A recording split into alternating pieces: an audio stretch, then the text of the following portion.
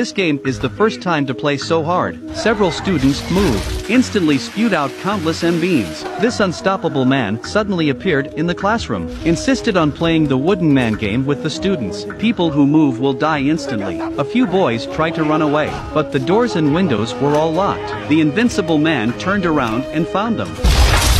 The rest of them were even more frightened. They didn't dare to move. At that moment, the man with glasses suddenly saw the rules of the game written on the back of the invincible man's head. Before the countdown ends, the game can be stopped by pressing the button. A boy rushed up to press the button, but the inverted man suddenly turned back. The boy instantly exploded into beans. The girl was so scared that she screamed loudly, but only half screamed and lost the sound. Only one minute left. It's too late. They decided to take their chances. People kept rushing up, but the invincible man kept turning back at random. They failed one after another, as the beans piled up all over the floor.